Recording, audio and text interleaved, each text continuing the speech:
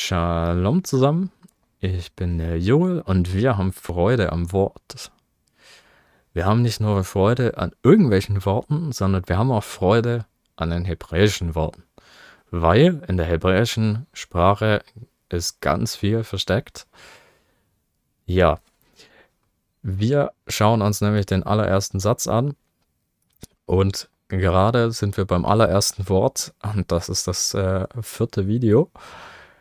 Genau, und deshalb würde ich dir sehr empfehlen, die ersten äh, Videos zuerst anzuschauen, besonders das allererste, um zu verstehen, äh, ja, wie das Hebräische gelesen wird und äh, was das bedeuten kann. Wir gehen dann wieder zurück zu den Notizen und schauen uns hier den nächsten äh, Block an. Wenn man das Hebräische dann so aufteilt, dass man äh, praktisch alle Buchstaben in einzeln liest, dann haben wir im Kopf, also Reish steht ja, ähm, Beit steht für im als ähm, Präfix, äh, als einzelner Buchstabe vor dem Wort Reshit. Und dann haben wir im Kopf, also Reish äh, steht hier für, für Kopf. Wenn, wenn wir jetzt sogar zwei Buchstaben nehmen, dann haben wir hier das Wort Ra.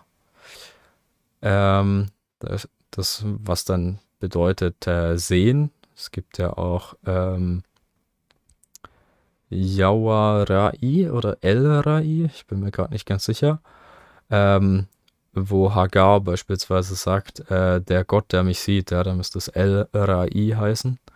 Ähm, wo dann Reish Aleph und dann kommt noch ein J dahinter. Ähm, das J steht dann immer für ich oder mich. Ähm, genau. El Rai. Der Gott, der mich sieht, äh, von Hagar müsste irgendwo, was ist das dann? Irgendwo Genesis äh, 12 soll in dem Bereich sein mit Abraham. Im Kopf sieht ich weiß nicht, ob das äh, valide ist, aber könnte man so nehmen, ähm, dass man dann erst den einzelnen Buchstaben nimmt, äh, Beit, Reish und dann noch Ra äh, zusammen. Dann kommt der Vater, also L, das ist dann das Aleph. Zerstörung, äh, das Schienen, die zwei ähm, ähm, Frontzähne, die zwei Schneidezähne, die wir haben, ähm, soll symbolisieren, steht für Zerstörung. Und dann haben wir wieder Hand und Kreuz. Taf steht für Kreuz. Wenn wir das dann lesen, im Kopf sieht Vater, also Jawa, die Zerstörung der Hand am Kreuz. Das ist nochmal äh, eine bisschen ausführlichere äh, Formulierung von, von dem Ganzen, äh, was wir äh, in einem vorigen Video hatten. Genau. Also im Kopf sieht Jawa, sieht der Vater die Zerstörung von Hand, von der Hand von äh, dem Sohn, steht jetzt hier nicht, ähm, oder haben wir hier nicht angeschaut, dass hier Bar ja drin steht, äh, am Kreuz. Und wir befinden uns immer noch bei dem allerersten Wort äh, mit diesen äh, sechs Buchstaben. Und dann kann man das Ganze noch äh, weiter auf die Spitze treiben, indem man äh, sich die Bedeutung von äh, all diesen Buchstaben genauer anschaut. Also ich habe schon einiges gesagt. Äh, wir haben hier äh, Bait, was für in oder im, genau, äh, Haus, Familie und Haushalt steht. Bait ist aber auch der zweite Buchstabe und steht für den Sohn sozusagen die Abkürzung von Bar, also äh, Beit Reish, der Sohn. Ähm, Reish steht für Kopf, Headship im Englischen, also ja, Leiterschaft. Äh, Head ist ja auch der, ja, der Anfang. Äh, es gibt eine Bibelstelle ähm, über den Kopf und den Schwanz. Ist das hier Jesaja oder Jeremia? Müsste es irgendwo drinstehen. Äh, und im hebräischen Verständnis ist der, der Kopf der, der Anfang. Ähm, und der Schwanz äh, ist dann das Ende. Ähm, er steht für Gedanken, also im Kopf haben wir Gedanken. Äh, es steht für den ersten, es steht für Chief, also das ja ist nochmal so der Leiter. Ähm, für eine Person, also ein Reich äh, pro Kopf, sagen wir im Deutschen, ähm, ist eine Person. Ähm, und dann habe ich es hier auf Englisch hingeschrieben, weil ich äh, die Definition vom Englischen habe. What is the highest, most important? Uh, leads comes first, uh, capstone. Das heißt, äh, Reich, äh, der Buchstabe steht für das Höchste, das am wichtigsten, das was leitet, was zuerst kommt und der Capstone, also der ähm, müsste der Eckstein sein im Deutschen. Äh, da steht, steckt in dem Buchstaben Reich drin. Dann haben wir das Aleph. Das äh, steht für den Ochsenkopf. Ähm, Im Hebräischen. Genau, wir können kurz schauen. Paleo, Hebrew, Aleph. Genau. Wir haben hier, ja, stimmt nicht ganz. Also äh, Hebrew Aleph hat er genommen, aber Paleo Hebrew hat er nicht. Äh, Paleo ist, soweit ich weiß, die Bezeichnung für das ursprüngliche Hebräisch. Hier sieht man übrigens äh, das Taf, äh, das X. Ähm, und es müsste hier irgendwo die entsprechenden Buchstaben genau zu finden sein. Ähm, das Aleph ist hier ja der Ochsenkopf. Ähm, hier müsste man auch ja das Warf beispielsweise als Nagel, als Hook im Englischen äh, sehen, äh, was dann ja, hier sieht man es dann genau. Der, der Ochsenkopf ist etwas klein. Ähm, na, ich zoome mal wieder raus. Äh, genau. Am besten gehst du hier auf äh, diese Webseite. Ähm, Paleo Hebrew Alphabet. Selbst wenn du kein äh, Deutsch kannst, ist diese Webseite, denke ich, äh, zu verstehen, dass hier die modernen Bilder sind. Ähm, hier dann die Bedeutung ähm, für, für den Buchstabe, wie man es äh, ausspricht. Beim Aleph ist immer mal wieder so, dass man es nicht ausspricht. Äh, ist ein stummer Buchstabe.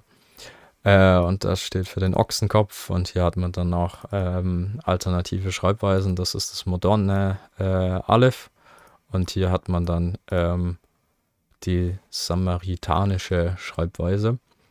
Äh, hier in Klammern steht jeweils, ähm, ja, nicht bei allen, weil bei nicht jedem Buchstaben ist äh, bekannt, ähm, woher es kommt. Aber bei Aleph sieht man auf jeden Fall, dass hier Aleph ähm, kann man sich dann noch genauer anschauen. Äh, genau, da wollte ich jetzt nicht hin. Und der Bait steht dann für das Haus im Englischen beispielsweise. Darüber habe ich schon gesprochen. Genau, der wichtige Teil, wo ich darauf hinaus wollte, ist, dass Aleph ähm, für den Ochsenkopf steht. Und äh, das ist ein starkes Tier. Genau, dieser Ochsenkopf. Jetzt gibt es im Hebräischen äh, noch die, die Zahlen, sind sehr spannend. Äh, da gehe ich nicht so stark äh, drauf ein. es gibt sogar Videos, ähm, die sich damit befassen, mit der Zahlenlogik äh, im Hebräischen, mit der Numerologie. Und Aleph ist nicht nur der erste Buchstabe, sondern er steht auch für die Zahl 1 im Hebräischen. Wir hatten hier die Liste der Bedeutung der Buchstaben und hier sieht man dann den Wert, Value im Englischen, ähm, und das Aleph für 1 steht. Weiter unten sieht man dann, dass ähm, genau, die, die Zählweise geht von 1 bis 10, also bis zum 10. Buchstabe, Jud. Und dann ab Kaf ähm, gibt es dann 20. Diese 500 steht übrigens für das Kaf Sufit im äh, Hebräischen und das Kaf Sufit ist, äh, Sufit heißt äh, Schluss, Ende. ähm, es gibt halt zwei Varianten von diesem Buchstaben äh, und wenn man den am Ende schreibt, dann schreibt man den anders. Und äh, wenn man den Kaf Sufit, also diesen Buchstaben hier nimmt, dann hat er den Wert 500 und nicht äh, 20 wie das normale Kaf. Und das geht dann so weiter. Und wie man jetzt sieht, äh, wenn wir auf die großen Zahlen achten, haben wir hier 500, 600, 700, 800, 900. Und hier geht es dann mit dem normalen Kof oder Kuf weiter und dann kommen noch die kleineren 100er Zahlen. Hier geht es dann bis zu 400. Es sind insgesamt ja 22 Buchstaben. Taf ist der letzte. Ähm, und die haben dann so von 1 bis 10 ähm, die Logik reingebracht, dass die, äh, die ersten 10 Buchstaben bedeuten einfach Aleph 1, B 2 und so weiter bis äh, J. Dann geht es weiter mit dem Kaf. Und äh, dann geht es in 10er Schritten ab dem Kaf 20, 30, 40, ähm, 50, 60, 70, 80, 90 und dann ab dem Kuf, ab dem Kauf äh, geht es dann mit 100er Schritten weiter, also 100, 200, 300, 400, dann sind wir beim letzten Buchstaben und dann haben sie es so gemacht, ähm, dass sie hier, wir waren ja bei 400, ähm, kommt dann das Kaf, mit 500. Die ganzen Sophit dann noch, äh, Mem Sophit, äh, Nun Sophit, ähm, P Sophit äh, und dann Zade Sophit. Ähm, und dann sind wir bei 900 angelangt und dann kommt wiederum der allererste Buchstabe, nämlich das Aleph. War jetzt vielleicht auch wieder schnell, vielleicht schaffst du es ja einfach zweimal an. Ähm, Genau, es braucht eine gewisse Zeit, äh, bis man es äh, verstanden hat, äh, die Logik. Und das Interessante ist, das Aleph steht nicht nur für 1, sondern dann auch für 1000. Ähm, das sehen wir beispielsweise bei Petrus. Der sagt, ein Tag ist wie 1000 Jahre mir gerade nicht sicher, wo die Bibelstelle steht. Genau, in 2. Petrus 3,8.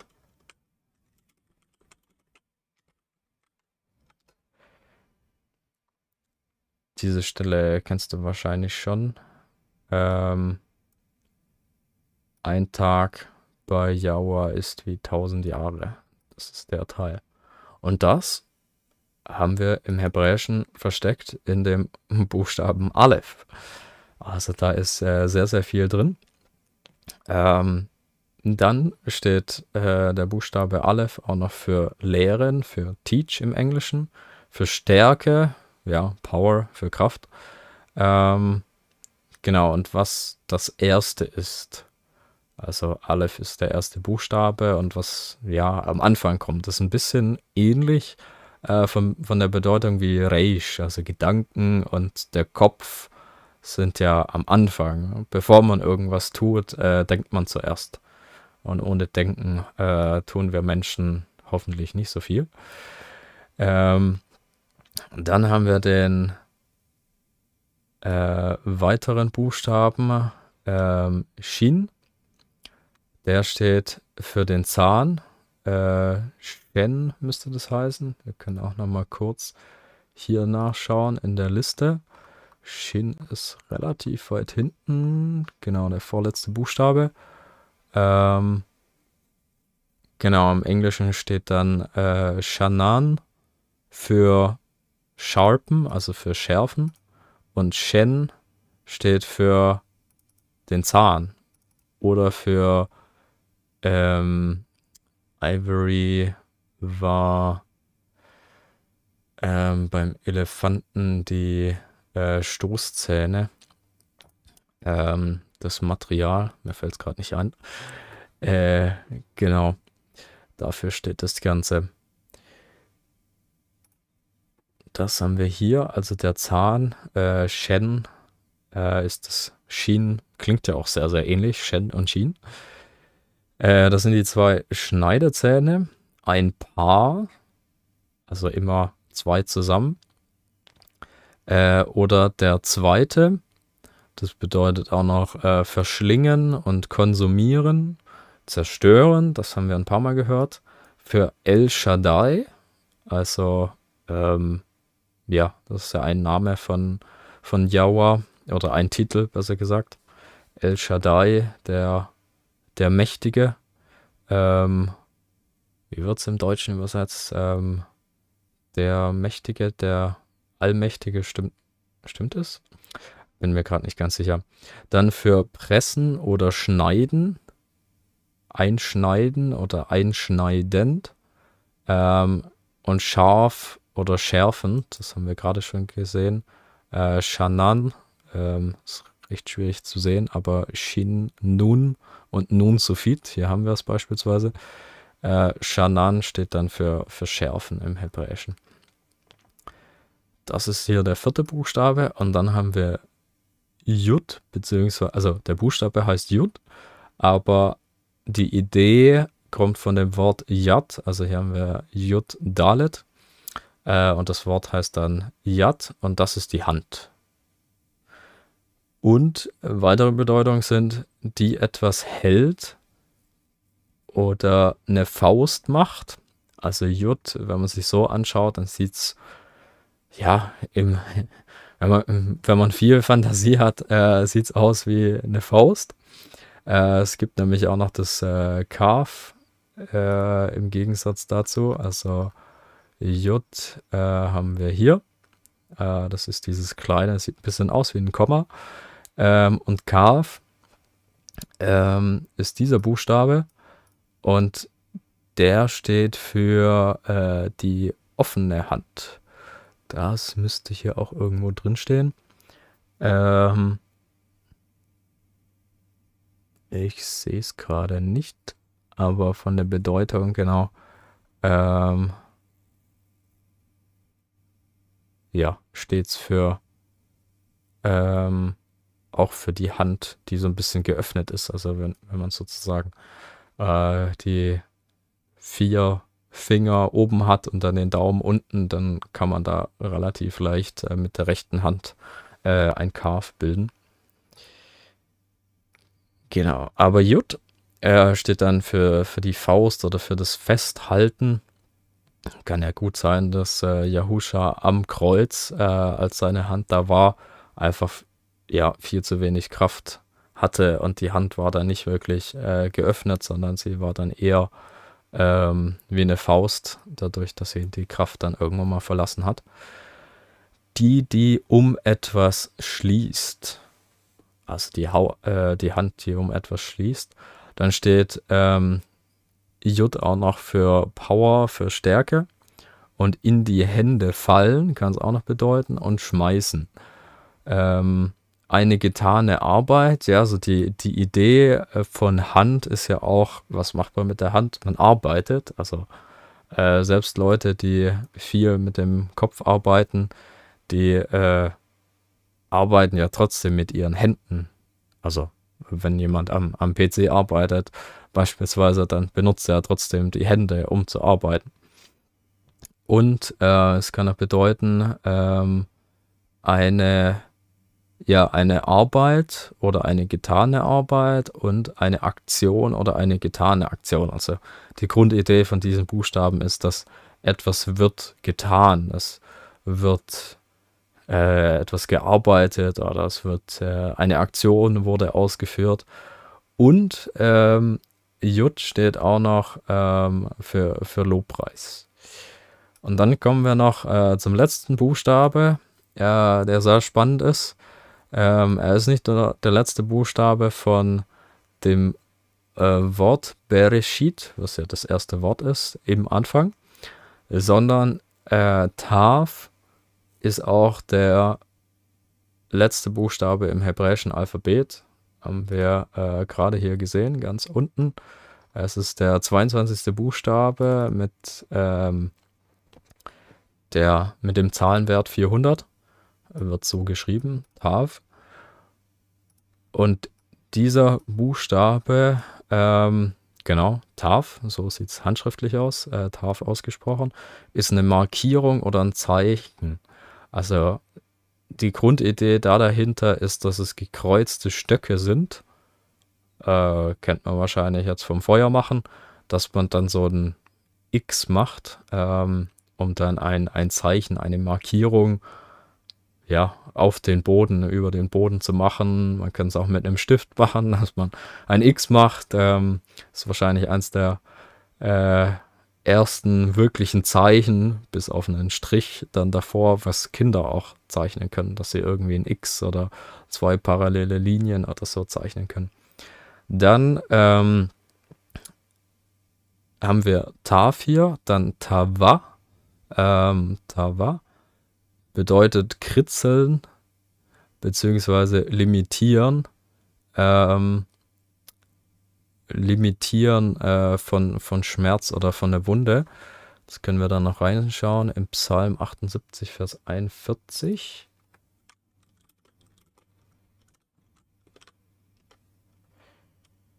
Da steht, und, ich vers und sie versuchten Gott immer wieder und bekümmerten den Heiligen Israels. Bin ich mir gerade nicht ganz sicher, ob das. Es kann sein, ähm, dass es ein Vers davor oder danach ist, ähm, weil in den deutschen, äh, genau, haben wir hier äh, den ersten Vers, das ist dir vielleicht noch nie aufgefallen, äh, so ein, ähm, eine Randnotiz, dass die äh, Verseinteilung im Deutschen ähm, anders ist als im Englischen. Und der erste Vers ähm, dann anders angefangen wird und deshalb vermute ich, dass es 42 sein könnte. Im Deutschen die gedachten nicht an seine Hand an den Tag, als er sie von dem Feind erlöste. Das klingt schon passender zu dem, was hier steht. Ähm, also das Tavar limitieren beziehungsweise Schmerz und Wunde eine, eine ja eine Erlösung sozusagen von dem Feind ist. Ja, die Notizen sind schon ein bisschen älter, deshalb äh, bin ich nicht mehr hundertprozentig sicher, was da die Idee war. Dann haben wir Ta'ava hier ausgeschrieben mit äh, äh, lateinischen Buchstaben was Begrenzung bedeutet. Also eine Markierung kann ja auch eine Begrenzung sein. Äh, in Zaun beispielsweise ist ja eine markierte Begrenzung von Grundstücken äh, das, was markiert ist. Und dann noch weitere Bedeutung, eine Stelle, ein Ort markieren. Also das, was wir vorhin hatten, die Grundidee, zwei ähm, Stöcke übereinander legen, irgendwie eine, eine Zeichnung in den Boden machen oder man kann ja auch schreiben in den, den Sand. Ähm, dann ein Zeichen, grundsätzlich jedes Zeichen.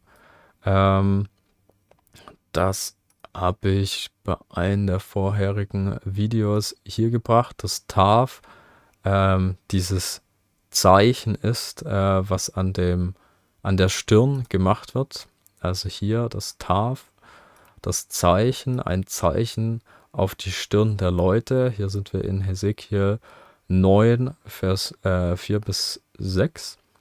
Äh, hier geht es darum, dass die, die seufzen und jammern, ähm, ich denke auch in dieser Zeit oder besonders in dieser Zeit über all die Gräuel, die in der Welt passiert, über all das Schlechte, was gerade passiert, dass diese Leute ähm, ein Zeichen auf die Stirn bekommen und dass sie ausgespart werden und dass sie nicht erwürgt äh, werden, ähm, sondern äh, verschont werden äh, und alle anderen, äh, die nicht seufzen und jammern ähm, und die ja nicht wiedergeboren sind, ähm, dass die erschlagen werden und erwürgt werden, äh, genau, äh, dass alle getötet werden, egal welchen Alters und welchen Geschlechts.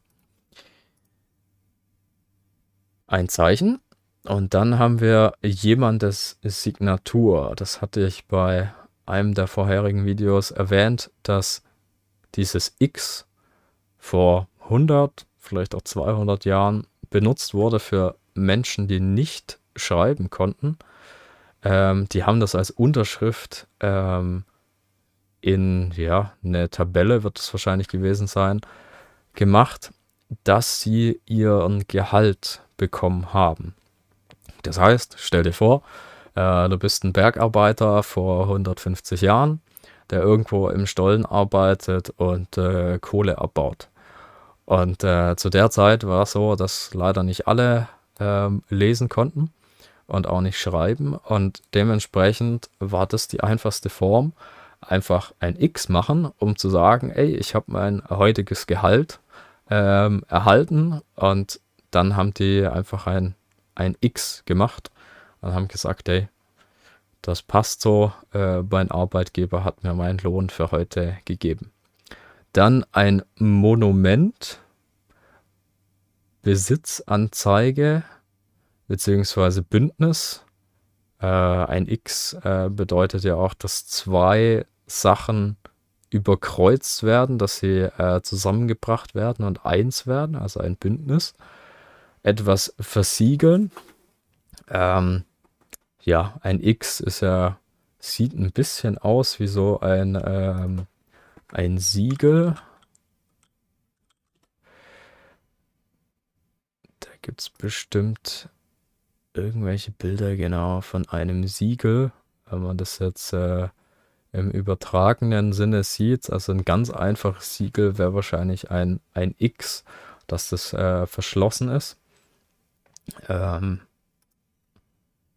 da fällt mir spontan auch ähm, die Offenbarungsstelle ein, dass ähm, niemand ähm, das Siegel öffnen konnte, äh, bis auf das Lamm und wo Johannes dann weint.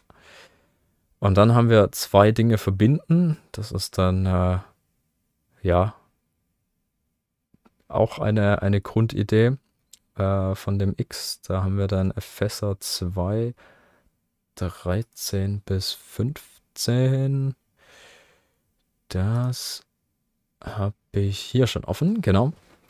Jetzt aber in Christus Jesus oder hebräisch Meschiach, Yahusha, seid ihr, die ihr einst fern wart, nahegebracht worden durch das Blut des Meschiach, durch des Christus. Denn er ist unser Friede, der uns beiden eins, der aus beiden eins gemacht und die Scheidewand des Zaunes abgebrochen hat, indem er in seinem Fleisch die Feindschaft des Gesetz äh, das Gesetz der Gebote in Satzungen hinwegtat und die zwei in sich selbst zu einem neuen Menschen zu schaffen und Frieden zu stiften. Und er hat die, die beiden, also die Juden und die Heiden, äh, die Juden sind die zwei südlichen Stämme und die Heiden ähm, sind äh, durch die zehn nördlichen Stämme äh, zusammengebracht worden. Das ist die Hesekiel äh, 37 Stelle. Ähm, das müsste noch genau hier offen sein.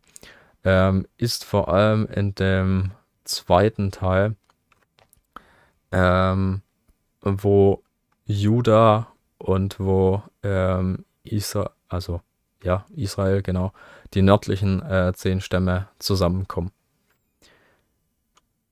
Das ist dann dieser Teil und hier sehen wir dann, ähm, dass aus zwei eins gemacht werden, der aus beiden eins gemacht hat. Und das ist so die, die Grundidee von, von dem TAF, dass man aus zwei Dingen eins macht oder dass man sie verbindet und dass sie eins werden. Also von dem her kann ich mir gut vorstellen, dass hier in der Hesekiel-Stelle ähm, dann füge die beiden zusammen, also die beiden äh, Holzstäbe, ein zum anderen, damit ein Holzstab daraus werde. Ähm, eigentlich hatte ich so die Vorstellung, dass man diese beiden Stäbe ähm, parallel hält, wie sozusagen äh, zwei Linien, die nebeneinander sind und die dann an der kurzen Seite verbindet. aber wenn ich es mir jetzt so genau überlege, dann ist ja hier die Grundidee, zwei Dinge zu verbinden und diese zwei Stäbe werden sicherlich wie ein X übereinander gelegt worden sein und dann zu einem Stab geworden sein in äh, Hesekiels Hand. Und dann ähm, eine sehr wichtige Bedeutung ist der, die oder das Letzte, was äh, dem Omega im äh, griechischen Verständnis ähm, gleichkommt. Das heißt, äh, nochmal hier Aleph, erster Buchstabe und Dav, der letzte Buchstabe. So, jetzt haben wir uns einiges angeschaut ähm, zu dem allerersten Wort im Hebräischen, was viel, viel tiefer geht ähm, als ja alles, was man übersetzen kann. Wir haben äh, die Jesaja 46, Vers 10 Stelle hier angeschaut, beispielsweise, die sehr cool ist, und äh, noch einige andere, ähm, wo wir sehen, was, was so alles versteckt ist im Hebräischen. Ich möchte noch ähm, zum Schluss von der Betrachtung von Bereshit, von dem ersten Wort, hier auf ähm, diese Webseite pealim, pealim.com äh, hinweisen. Die ist äh, sehr interessant. Also die zweibuchstabigen Wörter, die ähm, kann man hier relativ gut finden in der modernen hebräischen Sprache, die ja erst vor circa 100 bis 120 Jahren ähm, neu wiederbelebt worden ist und ja für circa 1900 Jahre ähm, nicht gesprochen wurde, so ähnlich wie Lateinisch. In der Sprache gibt es einige Wörter, die jetzt im ursprünglichen Hebräisch nicht drin waren, aber es gibt auch sehr viele, die genau gleich sind. Und äh, ein Wort ist äh, das Wort Ba, ähm, also Beit Aleph. Und das steht so für, für kommen, ähm, dass jemand äh, kommt, beispielsweise. Das ist noch so ein, ein Hinweis, was äh, noch eine Ebene wäre von, äh, dass man nicht die Buchstaben hintereinander kombiniert, sondern beispielsweise einen überspringt, also dass man Bait und Aleph verbindet, dass hier dann äh, Kom, also Ba, daraus wird. Ist sehr spannend, äh, was man alles äh, für Wörter sehen kann. Also wir haben Ba, der Sohn, dann haben wir Ra, sehen, wir haben äh, Esch, das Feuer, und dann gibt es, ja, It ist eigentlich so der, der Diminutiv, also die Verniedlichungsform, äh, etwas Kleines, wie im Spanischen beispielsweise die Anita, was die kleine Anna ist. Ähm, genau, und dann Sheet äh, müsste hier stellen, genau, irgendwas platzieren oder hinstellen. Und dann gibt es noch She, äh, das habe ich bisher noch gar nicht erwähnt.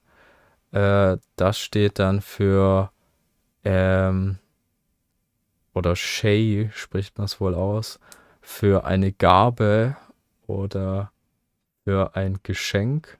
Können wir hier kurz schauen. Ähm, hier kann man es löschen. Und äh, da wir auf der deutschen, englischen oder welche Tastatur du auch immer benutzt, äh, nicht die Buchstaben haben, kann man sie hier anklicken. Und dann schauen wir nach dem Shin. Das ist hier. Und dann tippen wir das J ein, das ist dieser kleine Strich. Und dann suchen wir und finden dann genau, was ich gerade gesagt habe. Ähm, Shai oder Shay ähm, ist dann ja die Gabe oder die. Ah, jetzt habe ich drauf geklickt. Ähm, die Gabe oder das Geschenk im Hebräischen. Ja, und so sind wir angekommen am Ende von dem ersten Wort, von äh, dem Wort Bereshit. Ich hoffe, dir hat es gefallen. Ähm, wir schauen uns dann noch die weiteren Wörter an, also die restlichen Worte Bara Elohim et Hashemayim va et Haaretz. Also im Anfang erschuf Gott Elohim.